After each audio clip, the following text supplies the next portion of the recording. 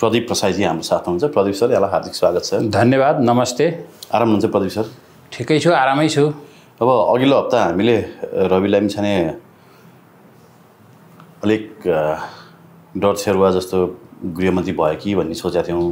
तर आज त बाल मन्दिरको जग्गा खाने बिसजना विरुद्ध पक्राउ पुर्जी जारी गर्नुभयो इन्क्लुडिङ रिता सिंह भन्ने कुरा पो आयो त। यो त ठुलो न्युज भएन सर? यो ठुलो न्युज हो। अब बाल मन्दिरको एक सय उनान्सय रोप्ने जग्गामध्ये पचप पचपन्न साठी रोप्ने जग्गा यसरी माफियाहरूको हातमा पुर्याएको थियो। त्यो चाहे रिता सिंहले गरेको होस् चाहे अन्य जोशीको होस् हामीलाई नामसँग सरकार भएन।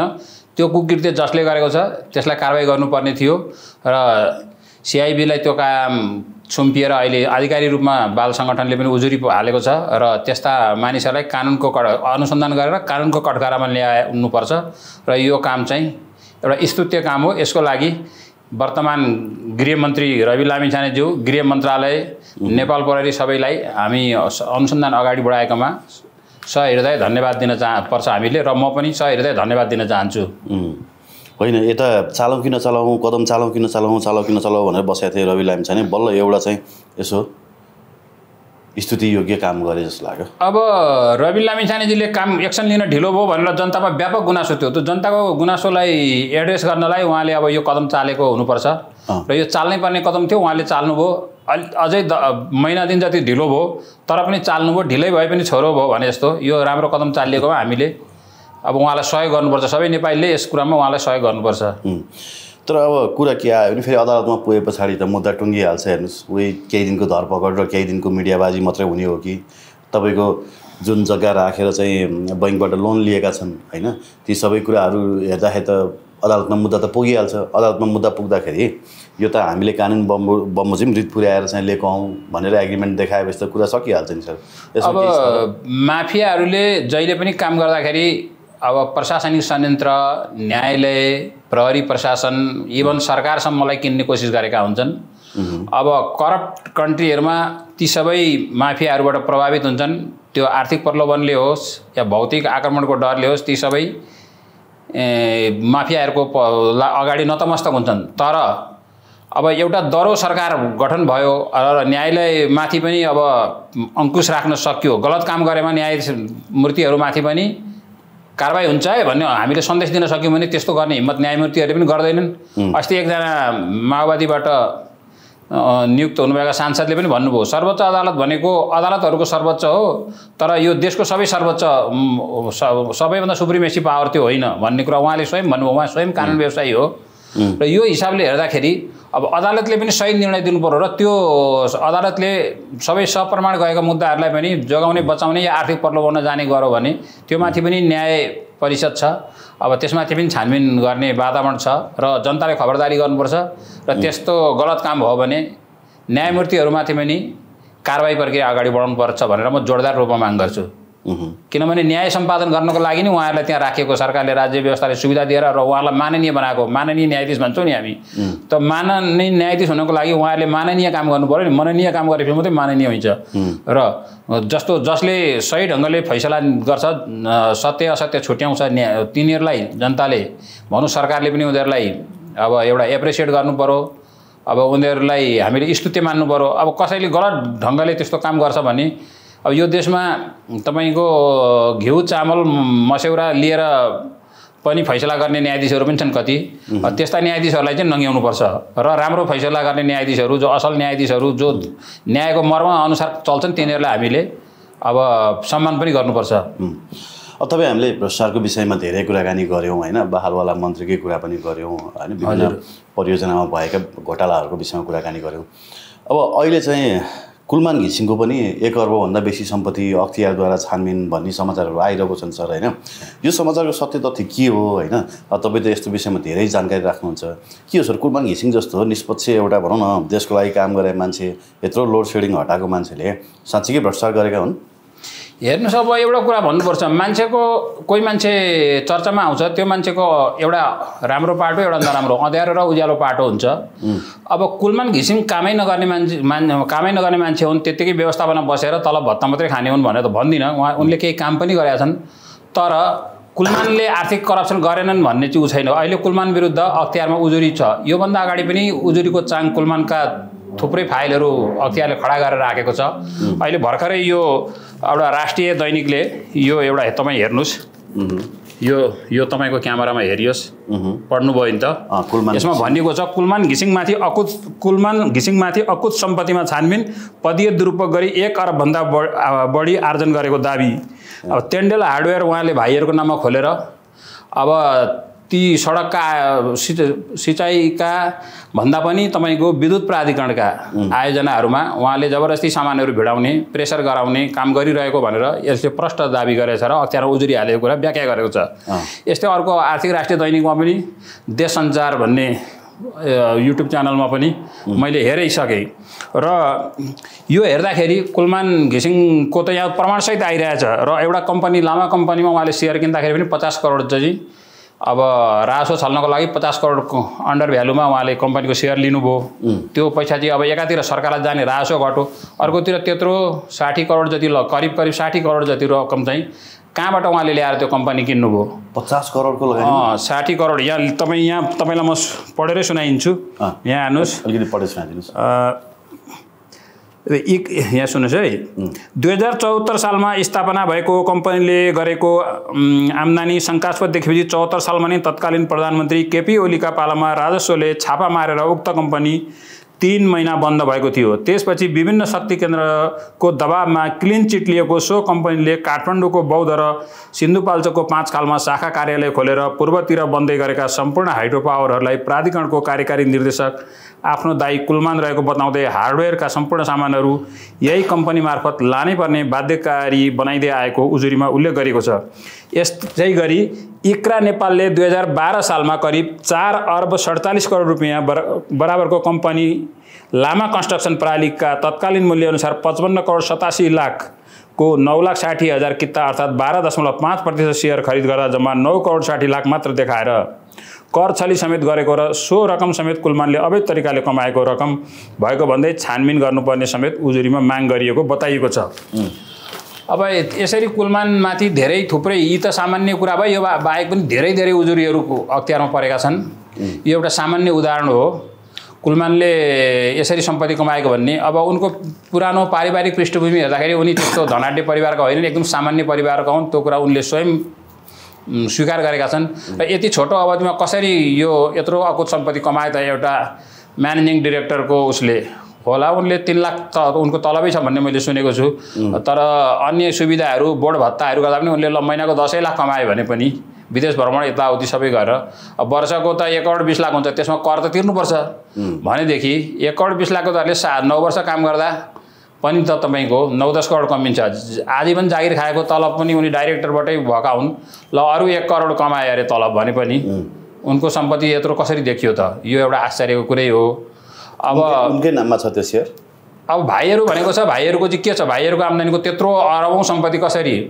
दुई चार करोड रुपियाँ भनेको मान्छेले कमाउला तर यत्रो अरबौँ अरब कसरी कमाउन सक्छ त त्यसले गर्दा यो उजुरी चाहिँ असत्य हो जस्तो मलाई लाग्दैन अब यो अहिले मैले सत्य असत्य भन्नु हुँदा पनि यो त अख्तियारले छानबिन गर्ने कुरा हो यसलाई अख्तियारले छानबिन गर्ला तर त्यो बाहेक पनि अन्य धेरै आयोजनाहरूमा कुलमानले लाभ लिएको कुरा चाहिँ अब आम मानिसहरू प्राधिकरणका वरिष्ठ अधिकारीहरू नि चर्चा गर्छन् अब तपाईँलाई एउटा म भन्न चाहन्छु यो अन्डरग्राउन्ड वायरिङमै पनि धेरै भ्रष्टाचार भएको छ भनेर केही साथीहरूले अब। भनिरहेका छन् यो मात्रै होइन जस्तो एउटा कुरा भनौँ यो अन्डरग्राउन्ड वायरिङकै कुरा गर्दाखेरि त्यहाँ एउटा प्रोजेक्ट म्यानेजमेन्ट डाइरेक्टरेट भन्ने छ त्यहाँ डिएमडीको पद हुन्छ।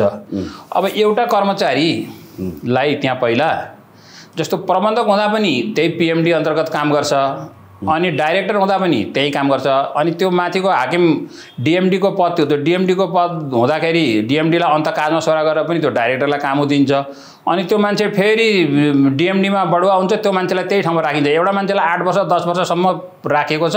अनि बिचमा अर्को एमडी योभन्दा अगाडि छ महिना एम एमालेको सरकार भएका बेला बनेका एकजना एमडी थिए।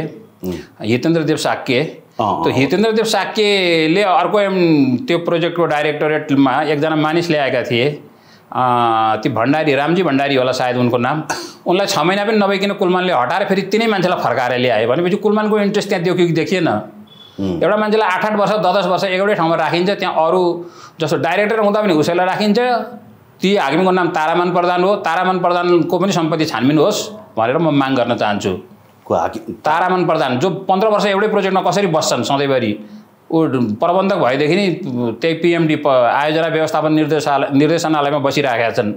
अनि डाइरेक्टर हुँदा पनि बस्ने चिफ अनि डिएमडी हुँदा पनि बस्ने अनि अर्को हाकिम अर्को एमडी आएकालाई छ महिना हटायो तुरुन्तै कुलमानले त्यहाँ ल्या उसलाई फेरि ल्याइहाल्ने। र कामु भएर पनि त्यहीँ बस्नुपर्ने के छ भन्दाखेरि त्यसमा भेस्टेड इन्ट्रेस्ट छ र त्यो इन्ट्रेस्ट पुरा गर्नको लागि कुलमानले तारामन प्रधानलाई त्यहाँ राखिरहेका छन् र म यही तपाईँको अन्तर्वार्ता मार्फत भन्छु तारामन प्रधानमाथि पनि गहन अध्ययन अनुसन्धान गरोस् अख्तियारले छानबिन गरोस् उनको सम्पत्ति र उनको आय स्रोतबारे पनि छानबिन गरोस् भन्ने मेरो माग छ। र त्यसबाहेक अन्य धेरै आयोजनाहरू ठुला ठुला आयोजनाहरूमा धेरै त्यस्ता अब कुकृतिहरू त्यहाँ भएका छन्। अब ती कुकृतिहरूलाई दबाइएको छ। ती कुकृतिहरूको बारेमा थुप्रै उजुरीहरू अख्तियारमा परेका छन्। तीहरूमा पनि अनुसन्धान होस् भन्ने माग गर्दछु। पहिला अब कतिपय आयोजनाहरू त अलपत्र पारेका छन्। तपाईँको मोबिलिटी खर्च लिने काम नगर्ने बाटो अलपत्र पारिदिने गरेका छन्। एटलिस्ट कुलमानले त काम गरेर कमाएका रहेछन् होइन? अब म काट्नेले हात चाड्छ भन्छन् नि। त्यति ठुलो इस्यु त होइन होला। कुलन बिल्कुलै काम नगर्ने होइन काम चाहिँ गर्ने तर पनि अब पहिला थोरै एटलिस्ट जनतालाई काम त तपाईँले के भने अब कुलमानको बारेमा बोल्यो भने सबैले अब तपाईँको यहाँ मैले अहिले इन्टरभ्यू दिएँ तपाईँको पछि हेर्नु त्यसमा पब्लिक रियाक्सन हेर्नु सबैले गाली नै गर्छन् किनभने कुलमान भनेको भगवानै भन्ने परे पारेको छ। त्यो के भन्दाखेरि उहाँले अब ती अहिले त बरु त्यति एक्टिभ हुनुहुन्न यो मिडिया सञ्चालन गर्न। पहिला अघिल्लो कार्यकालमा उहाँले यति फेसबुकहरू अनि यति यस्तो मिडिया कन्टेन्टहरू बनाउनेहरू राखेका थिए सबैलाई पैसा दिएर। उहाँले त्यसमा करोडौँ करोड बाँडेर त्यसरी आफ्नो पक्षमा प्रचार गराउनुहुन्थ्यो। अनि त्यो प्रचार गराएर त्यो बना एउटा एउटा यस्तो खालको स्थिति बनायो कि साँच्चै अब सोकल्ड भनौँ न सोकल्ड गड जस्तो भन कुलमालाई सोकल्ड गड बनाएका थिए। देवत्वकरण देवत्वकरण गर्ने काम भएको थियो।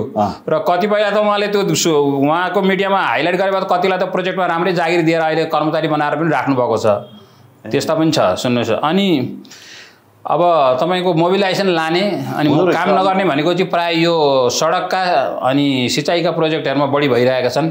सडकमा त अब कुनै क्वालिटीको काम पनि भएको छैन। अब तपाईँको अहिले जति सडक बनेका छन् त्यसमा क्वालिटीहीन काम भएको छ। देशभरि नै काम भएको छ तर क्वालिटी भएको छैन। र त्यसमा एउटा कुरा नि तपाईँलाई म भन्छु कम्प्याक्सन टेस्ट गरौँ टेक्निकल अडिट गरौँ सडकमा कुनै पनि सडक पास हुँदैनन्। अनि तपाईँको त्यसको बालुवा जुन हालिन्छ माटो जुन हालिन्छ त्यसको मिसावट कति पर्सेन्टभन्दा बढी नहुने भन्ने एउटा को आचार संहिता हुन्छ त्यो पुग्दैन। कम्प्याक्सन टेस्ट गर्नु त्यो पुग्दैन। कोर कटिङ टेस्ट गरौँ त्यो पुग्दैन सडकलाई का कटिङ गरेर हेर्ने अनि बिटुमिनको रेसियो मिल्दैन भार क्षमता हामी टेस्ट गरेर हेर्नु मिल्दैन। त्यसले सडकका सिँचाइका आयोजनामा त कुनै क्वालिटीको कामै हुँदैन। त्यो हेरी विद्युतको आयोजनामा काम चाहिँ क्वालिटी नै हुन्छ। त्यो यो चाहिँ कस्तो हो नि अस्ति एउटा फेसबुकको रिल हेर्दै थिएँ होइन। अनि एउटा लेडी जर्नलिस्टले चाहिँ प्रश्न गर्छ कि के काम गर्नुहुन्छ? भन् भन्छ होइन। उसले के भन्छ नि म यो बाटो छ नि यो बाटो पिच गर्छु भन्छ कि। यो बाटो पिच गरिसके पछाडि त्यस पछाडि चाहिँ के गर्नुहुन्छ? त्यस पछाडि त तपाईँ जबलेस हुनुहुन्छ भन्छ। उसले के भन्छ नि बाटोको साइडमा फेरि यहाँ के के के भन्छ तार बिछाउनुपर्छ के बिछाउनुपर्छ त्यहाँ खन्ने होइन काम गर्छु भन्छ अनि त्यो खनिसके पछाडि के काम गर्नुहुन्छ त्यो खनेको फेरि पुरेर त्यहाँ फेरि बाटो बनाउने होइन पिच गर्ने काम गर्छु भन्छ अनि त्यस पछाडि के गर्ने हुन्छ? त्यस पछाडि गभर्मेन्ट चेन्ज हुन्छ बाटो फेरि हामी बिगार्छौँ अनि फेरि हामी पिच गर्छौँ भन्छ मतलब त्यो त्यो साइकल त्यो साइकल चलिरहन्छ। तपाईँले भने जस्तो क्वालिटीको काम गऱ्यो भने त अनि यहाँ ठेकदारहरू त बेरोजगार हुने भएन सर। तपाईँ बेरोजगार म। एउटा उदाहरण दिन्छु तपाईँलाई। तपाईँको सबै बाटो पिच भएपछि नेपाललाई कहाँ बाटो बनाउन जान्छन् त ठेकदारहरू अब विदेशमा जाँदैन। काठमाडौँमा पहिला एउटा रोड एक्स सुरुमा यो बाटो बढाउने काम रोड एक्सपान्सन प्रोजेक्ट थियो। काठमाडौँ उपत्यका सडक विस्तार आयोजना के भन्थ्यो? त्यसको अफिस मिड बानेश्वरमा थियो त्यसको आयोजना प्रमुख श्याम खरेल हुनुहुन्थ्यो। तपाईँलाई एउटा उदाहरण दिन्छु। अनि मैती देवी पुलदेखि मैती देवी चोकसम्म लगभग दुई सय मिटर जति होला त्यो सडक पहिला बनाइयो। अनि बनाइसकेर पिच गरेर बढाइयो सबै सक्यो। अनि त्यो बनाइसकेपछि फेरि त्यसको एक दुई महिना पछाडि भत्काइयो। सबै भत्काइयो त्यो बाटो।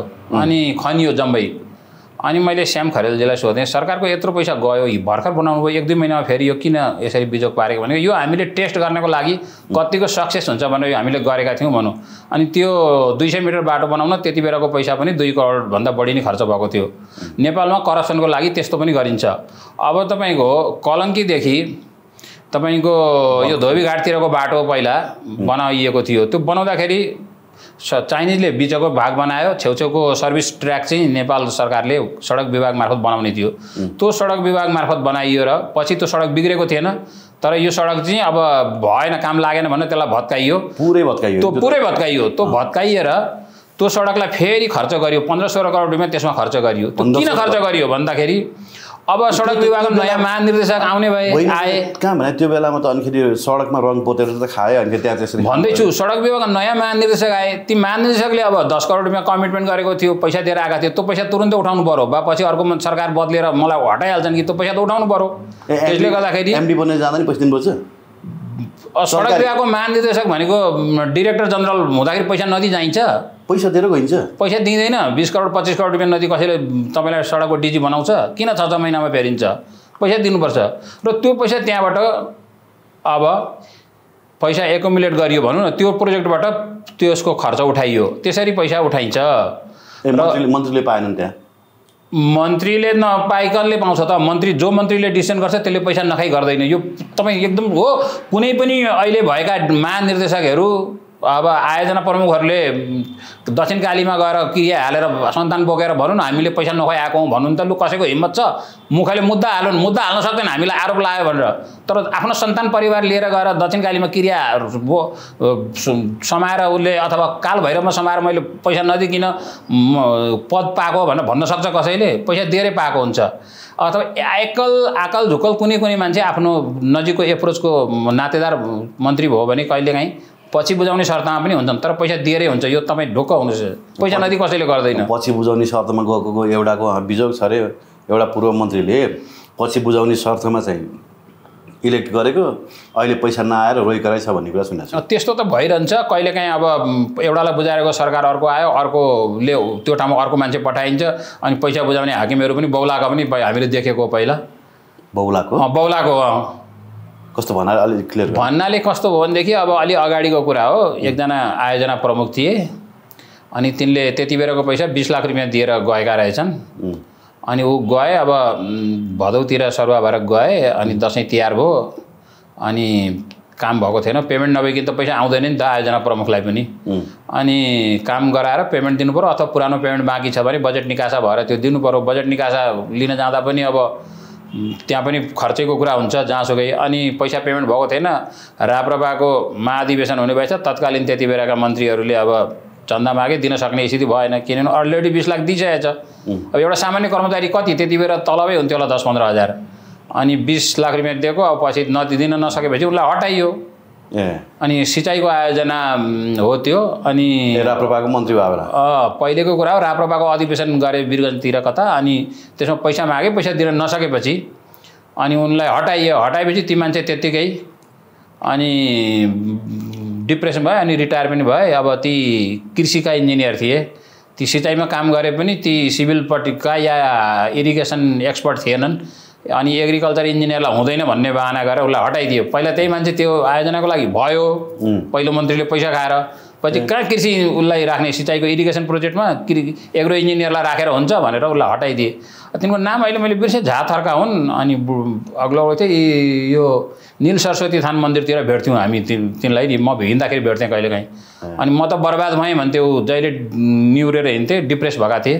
अनि उन उनी उनको जागिर त्यतिकै रिटायर भयो ऊ बर्बाद भए यस्ता घटना मैले थुप्रै देखेको छु।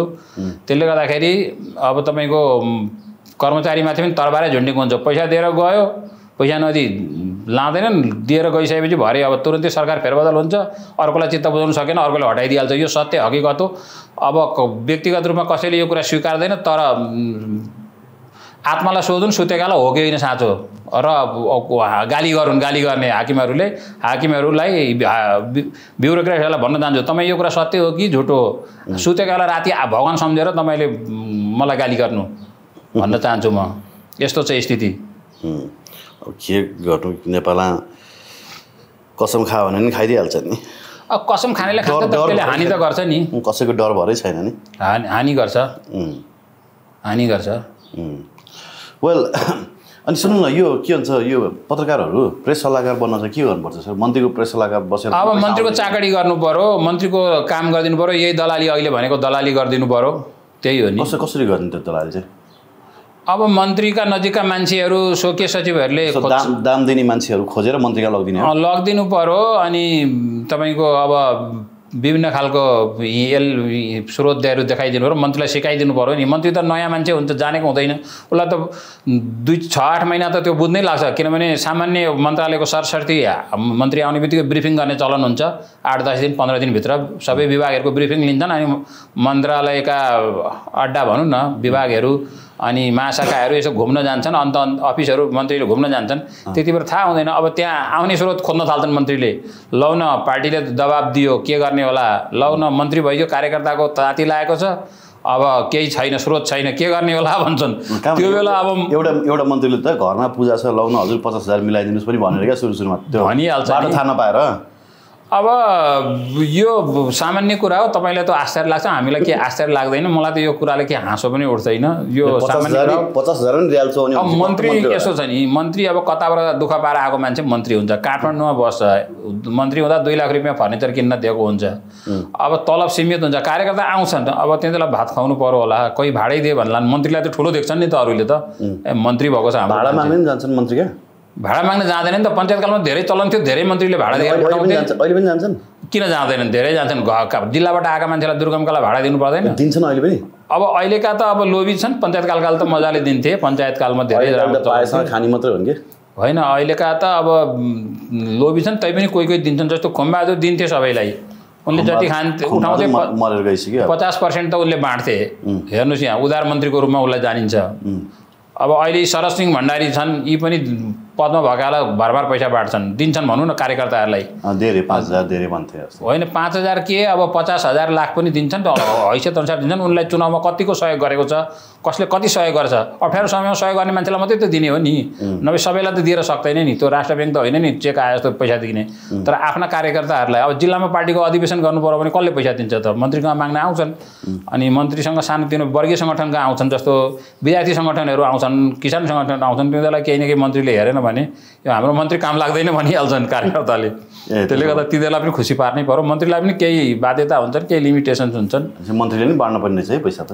मन्त्रीले बाँड्नु पऱ्यो नि। नबाँडी कसरी हुन्छ? अलिअलि त दिनु पऱ्यो नि ती कार्यकर्ता। एउटा कुरा नि सर मन्त्री बन्ने बित्तिकै अनि तपाईँको छ महिना मन्त्री बनेपछि काठमाडौँमा घर र गाडी छ फ्याक्ट्री आउँदो रहेछ। यो चाहिँ के हो? त्यही डिजी सेवा गर्छन् अनि अब जस्तो मालदार अड्डाहरूमा कर्मचारी सेवा गर्दा त्यहीँ पैसा उठाउँछन् अनि त्यो पैसा घर बनाउने कारण त्यही हो नि। अनि साउन लागेपछि पैसा अब हुन्छ असारको लास्टमा जति पेमेन्ट हुन्छ कामै नगरी पेमेन्ट हुन्छ त्यसको कमिसन आउँछ राम्रो। त्योबाट उठाउँछन्। मन अब तलबाट कर्मचारीले उठाएर ल्याउँछ माथि माथि डिजीले सचिवलाई सचिवले मन्त्रीलाई दिने चलन हुन्छ। अब यो त सबै चेन त छ नि तपाईँलाई बुझेकै छ नि यो देशको? चेन। अनि त्यही पनि पाँच छ महिना मात्रै मन्त्री भएका पनि चिल्ला चिल्ला गाडी चढेर हिँड्छन् होइन? अनि स्कुटी चढेर हिँड्ने मन्त्री एकजना पनि तपाईँको अहिले त गाडी चढेर हिँड्छन् रे भन्ने सुन्छु होइन? अब यस्तो छ। पहिला भनिहाल्यो नि एउटा डिजी सरुवा गर्न पाइयो भने त सबै कुरा घर गाडी सबै ब्याङ्क ब्यालेन्स पुगिहाल्यो नि। एउटा ठुलो भाइटल मन्त्रालयको डिजीको अनि कति बिस करोड पच्चिस करोडसम्म लिन्छन् अहिले। एउटाले पुग्यो है? एउटैले पुगिहाल्यो नि सडकको डिजी लग्यो भने कति पैसा आउँछ? विद्युतको एमडी बनाएको कति पैसा आउँछ? त्यो विद्युतको एमडीहरूले नढाँटी छातीमा हात राखेर भनौँ न। आफ्नो इष्ट देवतालाई भागेर भनौँ न पैसा दिएर भएको कि कति दिइसके कति लान्छन् कति कतिपय मन्त्रीलाई क तपाईँलाई यतिसम्म भनिदिन्छु। प्रधानमन्त्रीलाई पनि दिनु भनेर दिएको पैसा मन्त्रीले चप पार्दाखेरि मन्त्री र यस्ता ठुला ठुला हाकिमहरूको बिचमा बोलीचाली बन्द भएको अवस्था पनि थियो पहिले कुनै बेला। ए प्रधानमन्त्रीले दिएको भएको प्रधानमन्त्रीलाई पठाएको पैसा मन्त्रीले बिचैमा खाइदियो अरे। म्यानेज अब हाकिमले पठाएको पैसा। अनि त्यस्ता पनि थियो। अनि प्रधानमन्त्रीलाई फेरि दिनु पऱ्यो अनि बोलचाल बोलचाल किन बन्द बोलचाल बन्द हुँदैन भनेर भन्छन् अनि। दिएको पैसा सबै खाएपछि मन्त्रीसँग सम्बन्ध बिग्रिँदैन। उनको भाग त उनले खाए खाए। पिएमलाई पठाएको पैसा पनि खाए भन्छन् अब। अनि त्यसले गर्दा यो खुले आम हो खुल खुल्ला हो। कसैलाई त्यो सो शङ्का लिने दुविधा लिनै पर्दैन तपाईँले। सबैले उठाइरहेछन् नि। कति अरब उठाउने भन्ने टार्गेटै दिएको हुन्छ नि? डिजीलाई यति अरब आयोजना प्रमुखले यति भने त्यो टार्गेटै हुन्छ त्यो टार्गेट फुलफिल गर्न सकेन भने त अयोग्य भयो काम गर्न नसक्ने भयो त्यो हट्छ। अब प्रतिनिधि तपाईँ लामो समय सञ्चारकर्ममा हुनुहुन्छ होइन? अब अहिले पछिल्लो समय यो कान्तिपुरका मालिक कैलाश सिरोयाको नागरिकताको विवाद आइरहेको छ होइन? अब नागरिकताको विषयमा त धेरै कुराहरू आयो। उनको त्यो पहिलाको काम चाहिँ के हो? उनी के गर्थे? काठमाडौँमा कहाँ बस्थे? भन्ने कुरा चाहिँ सोध्नु न भन्दैछन् कि धेरैजनाले। केही थाहा छ तपाईँलाई त्यस्तो?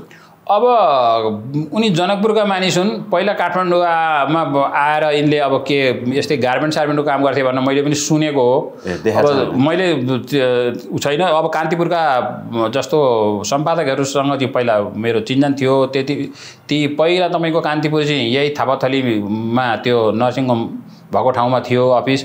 पछि अनि यो त्यहाँबाट सरेर आएर यो तिन कुनेमा त्यो बागमती पुलदेखि यसो उत्तरपट्टि परपट्टि थिए। योगेश उपाध्याय त्यसमा सम्पादक हुनुहुन्थ्यो। त्यस पछाडि उहाँले छोड्नुभयो अनि त्यस पछाडि तपाईँको घिमिरेजीलाई सम्पादक बनाइएको हो। अनि पछाडि यता यो कान्तिपुर अस्पताल भएतिर उहाँहरूको अफिस सरो अब कैलाश सिरोया को अब पहिला जस्तो यो प्रकाश टिबडेवाल हरू अनि उम्, सँग पनि सम्बन्ध थियो। अब व्यापार थियो त्यो मलाई थाहा थिएन तर उहाँको घनिष्ठ मित्र हो। प्रकाश कुटाकुटै पनि परेको थियो उहाँहरूसँग। प्रकाश टिबडेवाल र सिरोयाहरूको झगडै परेको थियो। त्यही रिसमा अब होटलमा बानेश्वरको एभरेस्ट होटलमा कुटाकुट भएको भए- भएर अनि प्रकाश टिबडेवालले अनि हिमालय टाइम्स खोलेको प्रकाश अग्रवाल अनि आनन्द अग्रवाल भन्ने ब्राइटर टुथपेस्टको मालिक अनि उज्जवल शर्मा भन् भन्ने यहाँ नयाँ बानेश्वरका व्यापारीहरू मिलेर त्यो उसलाई काउन्टर दिन खोलेको तर पछि उनीहरूको छिन्न भिन्न भयो एलसी काण्ड लागेर। अनि त्यो पत्रिका बन्द त अहिले उज्जवल शर्माले सामान्य रूपमा चलाइराखेका होलान्। तर त्यो चाहिँ थाहा छ। अनि कुरा चाहिँ अब जनकपुरको हामी चाहिँ अब मोरङको त्यति डिटेलमा चाहिँ अनि थाहा भएन। अरू अरू व्यवसाय थालेको छ भनेर चाहिँ सुनेको। हो। उनको फ्यामिली ब्याकग्राउन्ड त्यति थाहा छैन। फ्यामिली ब्याकग्राउन्ड सबै थाहा छैन। किनभने हामी जनकपुरको मान्छे होइनौँ नि त।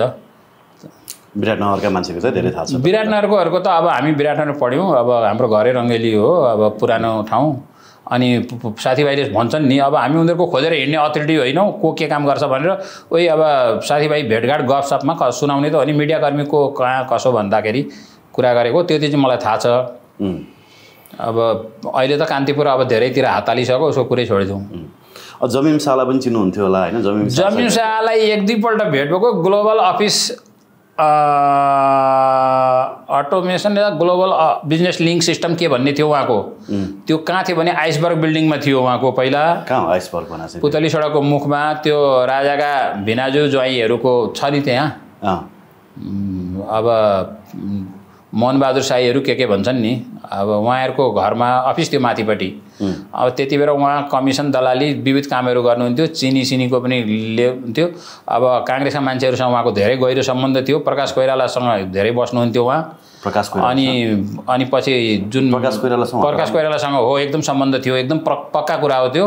अनि बसन्त भट्टराईले उहाँले स्पेस टाइमको सेयर नै राखेको थियो नि त्यो काम गराउनलाई। उहाँ नोना कोइरालाको अब भाइको छोरी बिहा गरेको ज्वाइँ पर्नुभयो अनि ज्वा ज्वाइँ साला साली भत भा- भतिजा भतिजी नपकड भान्जा भान्जी नपकडी कोइरालाहरूको नातेदार नपक्रिकन कामै गर्न सकिँदैन थियो कुनै बेला।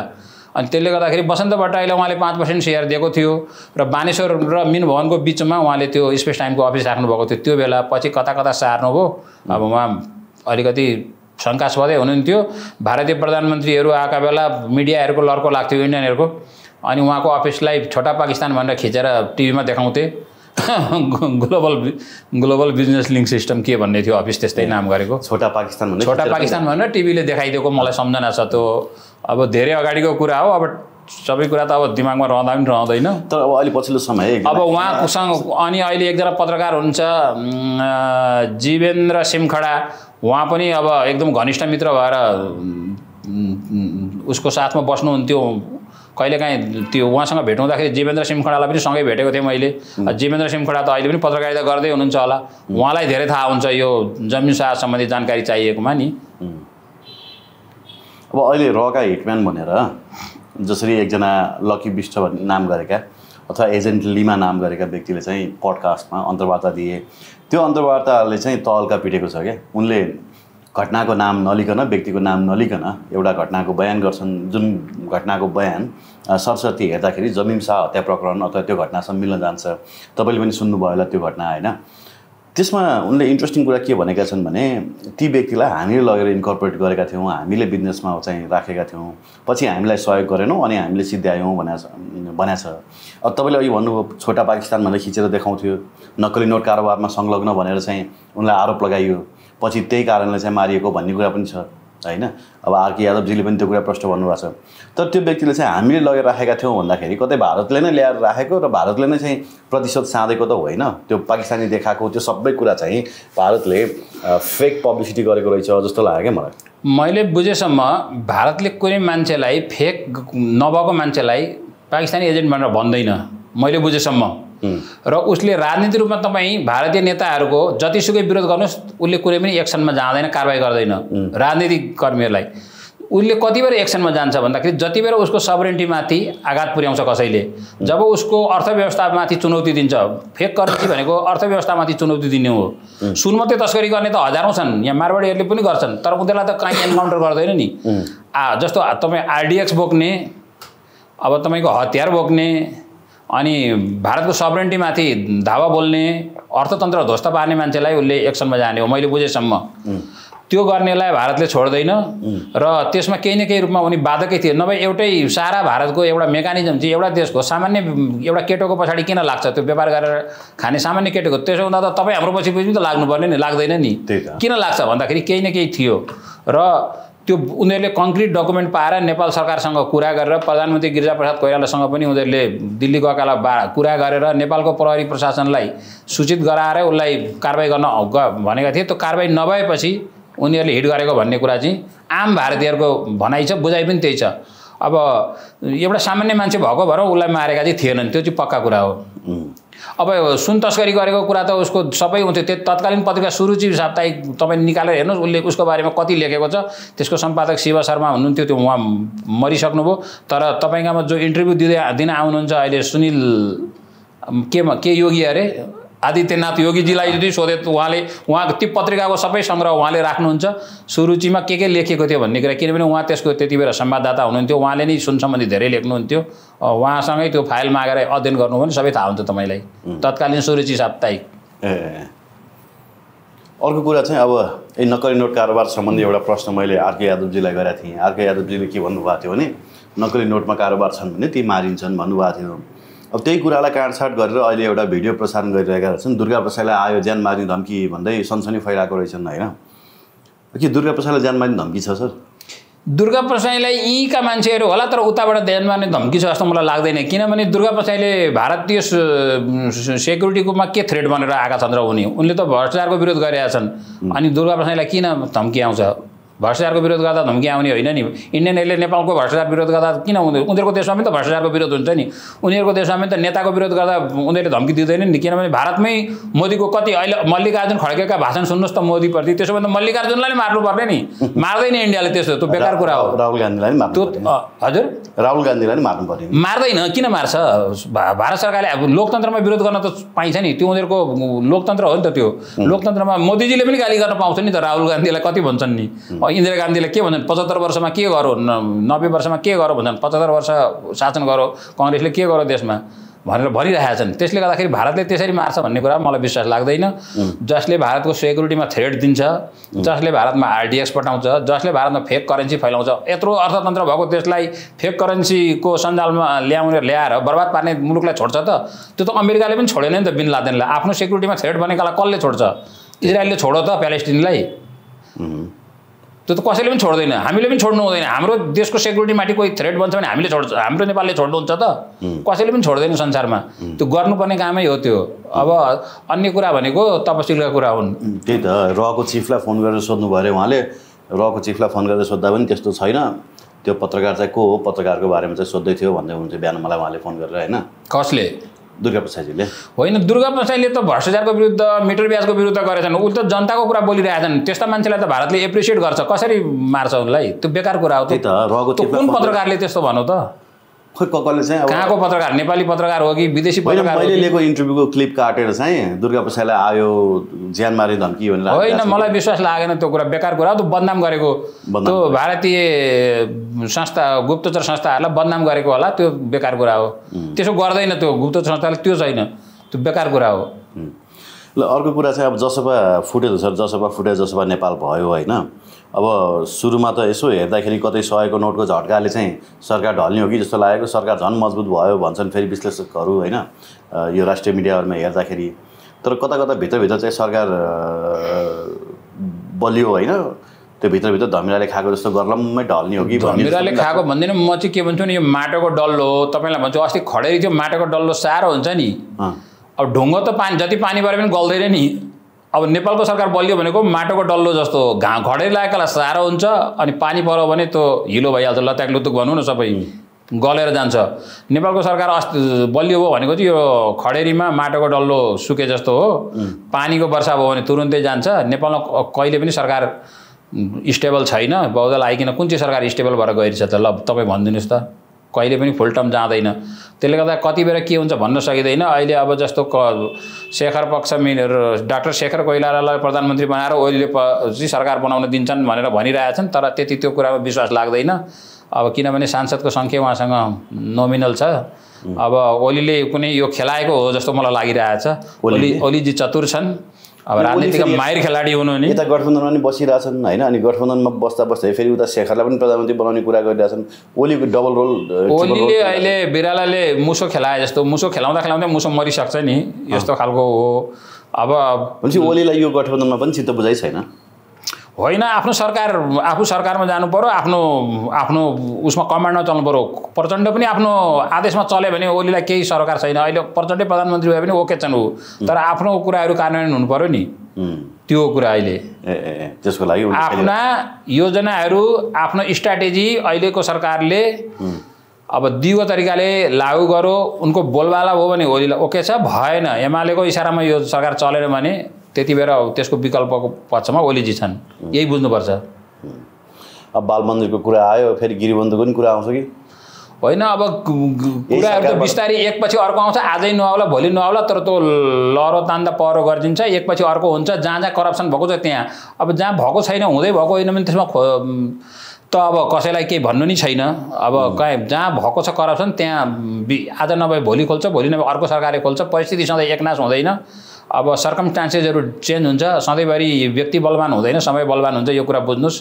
अब दुर्योधन जस्ताले पनि पानी मुनि गएर लुकेको हामीले महाभारतको कथा हेरेका छौँ। त्यो अब राजनीतिमा महाभारत हेरेपछि त्योभन्दा राजनीति सिक्नलाई अन्य कुनै इन्साइक्लोपिडिया पिडिया चाहिँ तपाईँले पल् पल्टाइरहनु पर्दैन यति बुझौँ। अब समय हो समयले समयका खेल निराला समयले जे गर्छ गर्दै जान्छ बिस। हस् Pradeep sir thank you very much धन्यवाद धन्यवाद।